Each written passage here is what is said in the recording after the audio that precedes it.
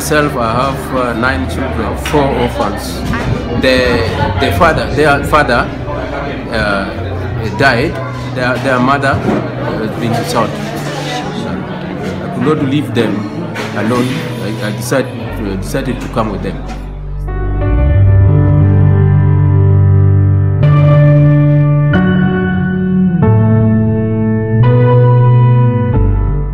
Now we have problem of water. Water is not enough. To get even a single jerrycan of water may take uh, three hours.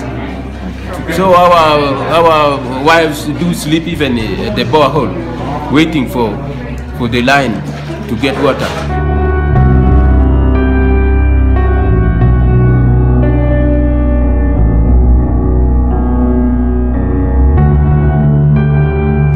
Here now we don't have secondary school in the, in the settlement.